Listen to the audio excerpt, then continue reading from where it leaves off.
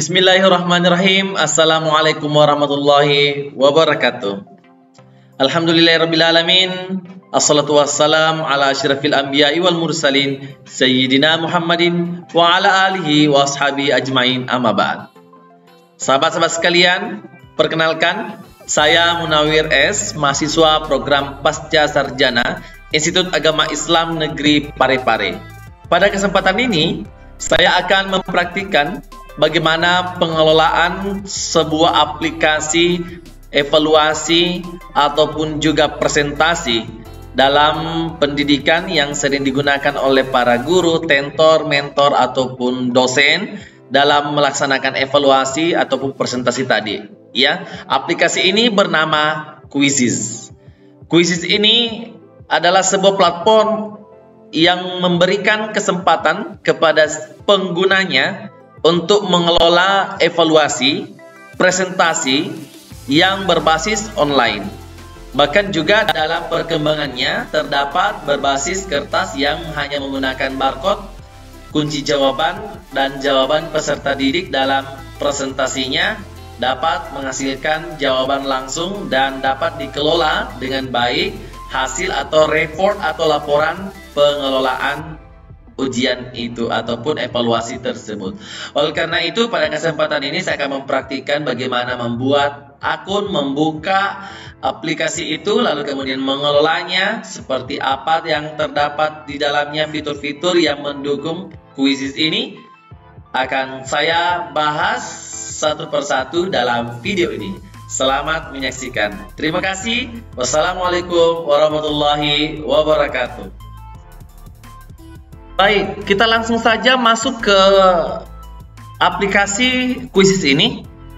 Yang pertama kita masuk ke web browser kita yaitu Google Chrome saya.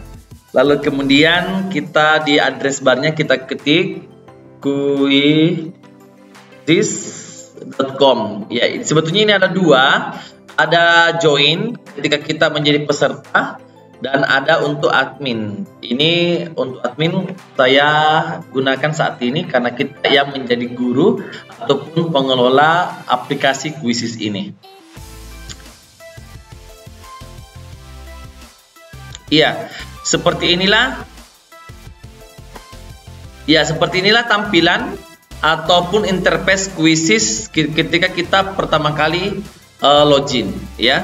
Ketika tadi kita belum memiliki akun, maka terlebih dahulu kita untuk sign up atau mendaftar ya. Karena saya sudah mendaftar, jadi saya langsung saja masuk ke aplikasi saya. Nah, perlu kita sampaikan bahwa akun yang pada kuisis ini terdapat ada dua, ada akun super, ada akun basic. Akun basic ini seperti saya gunakan ini gratis dan tidak ada bayar sama sekali. Namun banyak sekali fitur-fitur yang canggih, fitur-fitur yang sangat menarik, tapi itu terbatasi penggunaannya karena itu harus kita beli terlebih dahulu. Lalu kemudian kalau kita tingkatkan ke paket menjadi paket super, ini ada uh, biaya untuk kita tingkatkan paket kita. Ya. Lalu kemudian uh, akun basic ini saya gunakan sebagai akun gratis dan ini kita akan lihat seperti apa satu persatu di video ini. Yang pertama menunya yang pertama adalah cari menu pencarian. Jadi kalau misalnya teman-teman ingin langsung saja cari misalnya quiz AI kelas 8 kita langsung saja cari tanpa membuat. Artinya yang sudah tersedia atau orang-orang yang menggunakan kursus itu sudah uh, membuatnya terlebih dahulu. Jadi kita tinggal memilih kita tinggal timpa edit dan seterusnya lalu kita mainkan ya. Kemudian di menu yang kedua ada perpustakaanku atau my library. Jadi besok lusa kita sudah uh, membuat satu permainan ataupun soal ataupun kuis pada kuis ini akan tersimpan di perpustakaan ini. Kemudian ada juga hasil ya. Hasil ini uh, merupakan analisis yang sudah soal yang sudah dipresentasikan atau dimainkan seperti ini pada 12 November tahun 2020 yang lalu atau enam bulan yang lalu saya sudah membuat satu uh, soal tentang yang berjudul Islam itu dimainkan oleh siswa dan ini laporannya bisa kita buat. Jadi analisis soal atau analisis hasil jawaban dari peserta didik kita itu terdapat pada menu hasil dan itu bisa digunakan sebagai analisis ulangan harian, analisis soal uh, ulangan semester, penilaian akhir semester dan seterusnya. Kemudian ada menu pengaturan yang ini merupakan uh, satu hal yang sangat penting untuk terlihat mulai dari bahasa. Seperti akun saya menggunakan bahasa Indonesia bisa kita ganti menjadi Inggris ataupun bahasa-bahasa yang lainnya. Pengaturan kata sandi dan juga bisa kita menghapus akun secara permanen ketika itu dibutuhkan. Baik. Yang pertama kita lakukan adalah kita langsung saja buat soalnya karena ini kita mau lakukan, anggaplah kita mau ujian tengah semester untuk siswa kita, maka kita melakukan penilaian atau evaluasi pembelajaran kita menggunakan kuisis ini. Baik, kita langsung saja klik tombol buat ya buat. Di sini ada dua apa yang kita ingin buat. Yang pertama, apakah kita membuat kuis? Buat kuis untuk penilaian atau latihan yang menyenangkan. Boleh juga kita membuat presentasi interaktif. Ini bisa kita mengimport presentasi kita lalu ataupun buat baru, lalu kita tambahkan pertanyaan agar lebih interaktif. Eh, misalnya ada yang kita mau presentasikan seperti PowerPoint lah adanya ya. Lalu kemudian bisa juga kita ternyata import dari Google Form yang telah kita siapkan ataupun dari Google Slide yang telah kita buat ya. Karena ini adalah presentasinya untuk membuat uh, aplikasi atau uh, penilaian atau latihan yang kita gunakan kuis ini maka saya pilih saja membuat kuis. Ya, seperti inilah interface daripada penampilan awal untuk membuat soal ini. Jadi intinya kita membuat soal nih ya. Uh, namun kemudian bisa juga kita menggunakan fasilitas uh, teleportasi yaitu tambah soal dari gu, uh, dari kuis guru lain. Misalnya kita membuat soal tentang rukun iman maka kita tinggal ketik rukun iman lalu kemudian soal orang lain di kuis itu kita bisa ambil bisa edit tambah ataupun menguranginya. Ya nanti kita perhatikan sebentar Kemudian saya tambahkan lagi bahwa untuk tipe soal atau soal penilaian pertama ada pilihan ganda, ada menjodohkan, ada diseret dan lepas, ada respon matematika, itu mungkin guru matematika, ada uh, yang kita mau penanda misalnya dalam satu gambar kita klik ini gambarnya apa seperti simulasi yang ada di sebelah kanan disusun ulang uh, misalnya rimpangnya 5 3 4 2 1 bagaimana susunan terbaiknya. Kemudian ada isian singkat kemudian drop down ya ada pilihan ya. Jadi misalnya ada satu pertanyaan drop down itu ada ternyata ada tiga pilihan ya. Sama juga sebetulnya dengan pilihan ganda cuma itu di drop down ya. Kemudian ada label gambar. Nanti ketika uh, siswa dilibatkan untuk menjawab pertanyaan dari media mana dia dapat menarik atau melepas teks atau gambar tertentu. Kemudian ada grafik matematika Begitu pula dengan penilaian fleksibel, misalnya kita membuat soal yang kemudian kita minta siswa untuk menunjukkan apa yang mereka ketahui dari gambar yang kita munculkan, ya. Boleh juga dengan video, kita berikan video, siswa akan memberikan jawabannya secara visual bagaimana dia uh, mengomentari video itu. Ada juga soal esai ya, tentunya memberikan pertanyaan tentang pendapat ya. Dan ternyata ini dapat memberikan uh, jawaban yang panjang oleh siswa itu. Kemudian ada jawaban audio. Siswa bisa mengucapkan kata-katanya menjelaskan seperti dengan ujian wawancara ataupun ujian lisan. Kemudian ada fasilitas survei, kalau misalnya ada pertanyaan bagaimana pemahaman uh, siswa atau peserta didik kita terhadap sebuah kelas atau sebuah per, uh, apa namanya pertanyaan-pertanyaan tertentu sehingga bisa ada jawaban yang kita peroleh dari hasil surveinya. Ada slide yang kita gunakan untuk menciptakan presentasi sama dengan presentasi-presentasi uh, platform yang lain. Namun, soal yang sudah kita buat boleh kita impor ternyata dari Excel, boleh dari Google Form ataupun platform lain, misalnya uh, apa? Uh, dari Kahoot, ada Quizlet dan lain sebagainya ya seperti itu. Baik, uh, kita contohkan yang pertama saja untuk teleportasi. Kita gunakan teleportasi. Misalnya saya gunakan adalah iman kepada hari akhir sebagai soal daripada uh, mata pelajaran pendidikan agama Islam kelas 9. Anggaplah saya klik ini iman kepada hari akhir. Ya, Jumlah rukun iman ada enam. Iya, ini kita ambil, tambahkan soal. Kita tambahkan soal.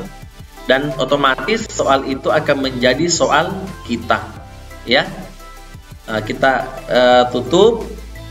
Iya.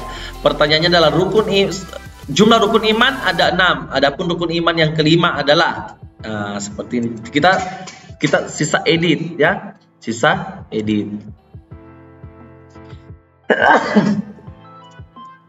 ya, jumlah rukun iman ada enam. Adapun rukun iman yang kelima adalah jawabannya ini iman kepada Allah, iman kepada takdir, iman kepada malaikat dan iman kepada hari akhir. Ya seperti itu. Kalau lalu kemudian kita simpan, oke? Okay? Ya kita simpan. Banyak hal yang kita mau edit dalam satu soal ini dalam kuisis ini. Yang pertama saya buka kembali edit. Yang pertama adalah setiap soal kita bisa sisipkan gambar. Anggaplah misalnya ada peta lalu kemudian kita mau tunjukkan peta apakah itu? Ya, itu tentunya harus ada gambar.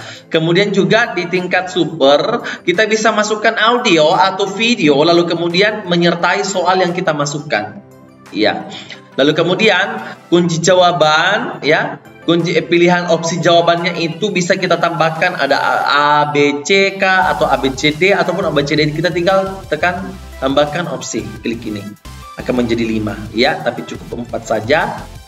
Lalu kemudian sebelum kita save harus kita tunjukkan ya, harus kita tunjukkan dan klik yang mana jawaban ya daripada soal itu ya sebagai kuncinya.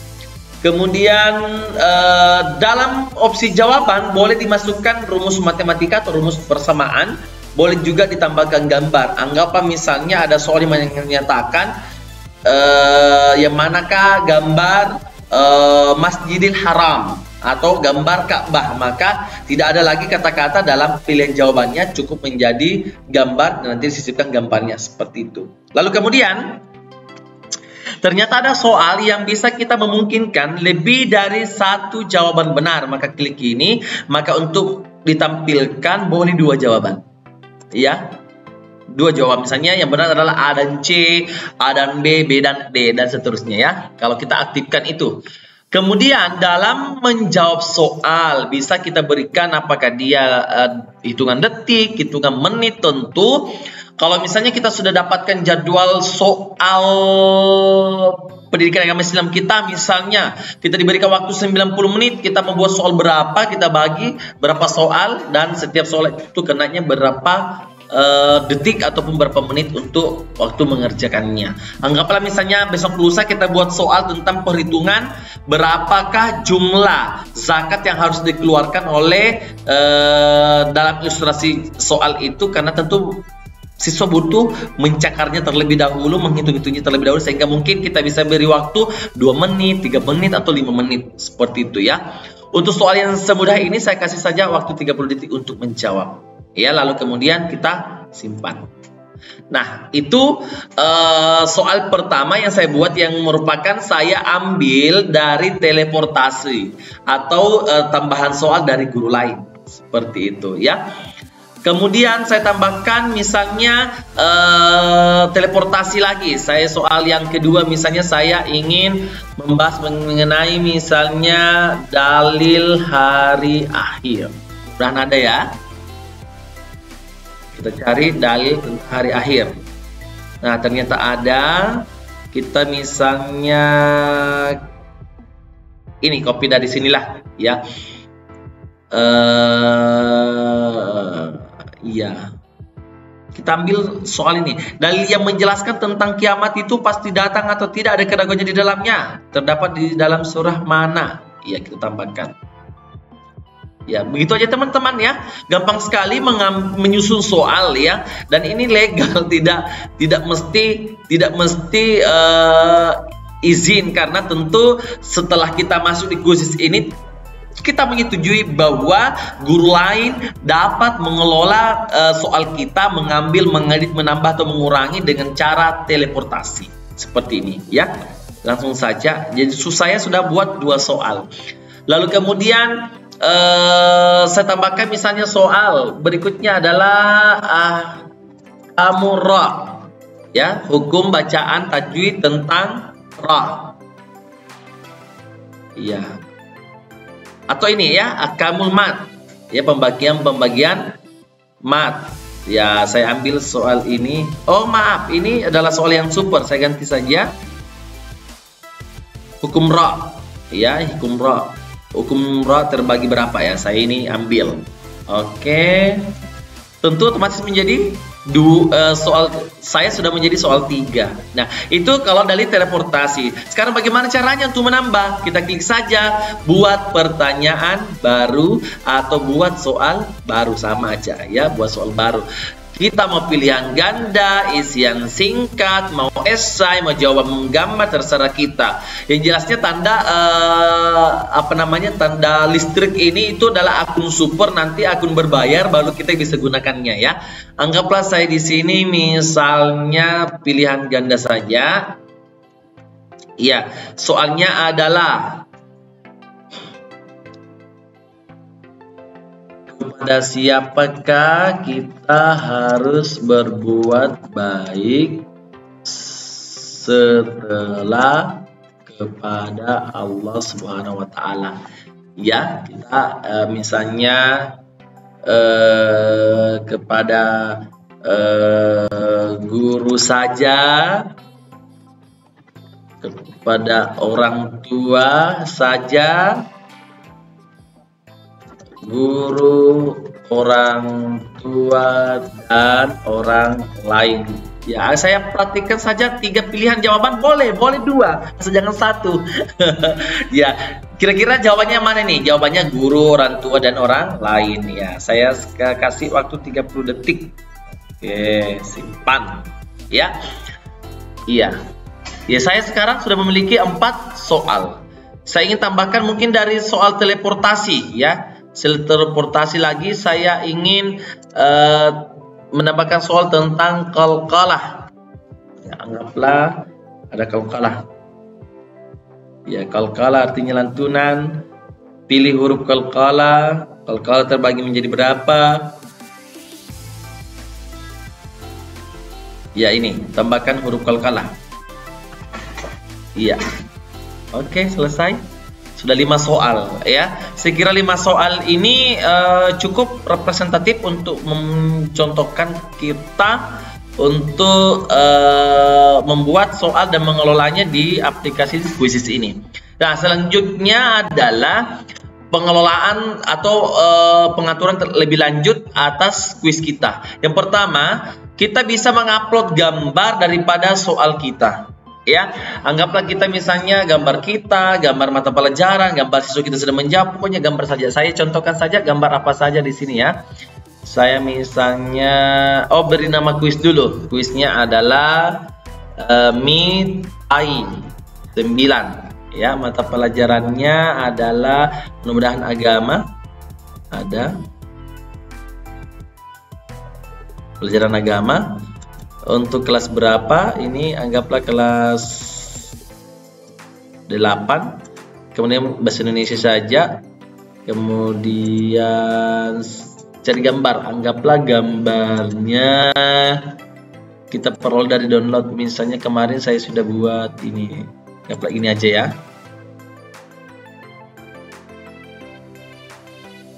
Iya boleh simpan nah itu jadi ada sudah namanya, kemudian kelasnya, bawahnya seterusnya ya. Nah, eh, teman-teman, eh, ada di sini eh, informasi kelengkapan kuis kita. Ternyata yang pertama kita harus ada pilih nama kuis yang relevan, tambahkan gambar, rincian kuis, tambah mata pelajaran dan tambahkan setidaknya empat pertanyaan. Maka itu lengkap ya. Ketika ini 10 per 10. Ya, sekira seperti itu untuk pembuatan soalnya sekarang kita mau uji coba dilihat dulu uh, simpan dulu ya simpan terlebih dahulu supaya ini uh, bisa tersimpan di akun kita Ya, Anda telah membuat kuis yang hebat. Kuis Anda disimpan dan siap dimainkan dengan siswa. Baik. Uh, nah, Iya, kuis kita selesai. Ini sisa kita mau uh, mainkan atau tampilkan ya, teman-teman. Ini kita bisa download, bisa download dalam bentuk uh, file, lalu kemudian itu bisa kita sebarkan kepada siswa kita dan menjadi soal berbasis kertas. Ya, jadi kalau misalnya kita buat di situ, kemudian siswa kita bisa, uh, misalnya nih kita buat soal pada saat online ternyata kita besok lusa kita laksanakan penilaian kita menggunakan aplikasi Quizzes tapi berbasis offline maka kita tinggal download lalu kemudian dalam bentuk PDF kemudian di copy dan digandakan sejumlah siswa kita. Ya. E, kemudian untuk sinkronosnya kita di sini boleh memilih kuis langsung Kuis langsung ini ada dua. Yang pertama adalah klasik yang kemudian dipimpin oleh guru. Klasik itu siswa mengerjakan kuis dengan kecepatan mereka sendiri dan guru memantau hasil secara langsung. Ya, jadi siswa ujian masing-masing tanpa ada uh, rentetan siapa mulai duluan, siapa yang belakangan. Ya, kemudian ada soal yang dijawab dengan uh, kuis langsung dipimpin oleh guru. Guru mengendalikan sesi sehingga siswa berada pada soal yang sama. Soal pertama pertama dimunculkan, lalu kemudian soal kedua nanti selesai menjawab baru dilanjutkan seperti itu. Namun boleh juga kita jadikan pekerjaan rumah siswa dapat menjawab pertanyaan itu dengan memberikan tugas ini dengan batas waktu yang kita tentukan. Ya misalnya hari ini tanggal 23 besok tanggal 23 misalnya kita jadwalkan eh, dia batasnya sampai tanggal 3, 24 deh jam sekian misalnya begitu ya. Jadi ketika di luar jadwal itu maka siswa tidak bisa lagi mengklik masuk di soal yang kita buat. Oke, dengan segala pengaturannya tentu tergantung dengan kebutuhan dan uh, kreativitas masing-masing uh, guru yang mengelola aplikasi Quizzes ini. Sekira uh, tidak ada lagi yang barangkali ingin saya jelaskan. Selebihnya simpan, dibagikan. Oh iya, untuk membagikannya boleh kita embed di web kita, ya salin linknya, kemudian kasih masuk di blog kita, di website kita. Boleh juga di copy langsung nih uh, file aslinya akan datang, ya seperti itu. Kemudian boleh juga kita edit kembali kemudian bagikan ketika bagikan ini kepada bagikan undangan kepada peserta didik ataupun siswa kita yang ingin menggunakannya. Di copy linknya di share ke Facebook di share ke Instagram ataupun media sosial yang lain seperti itu. Ya sekira Demikianlah uh, cara ataupun pengelolaan krisis mulai dari cara buat soal serta beberapa pengaturan-pengaturan yang saya lakukan.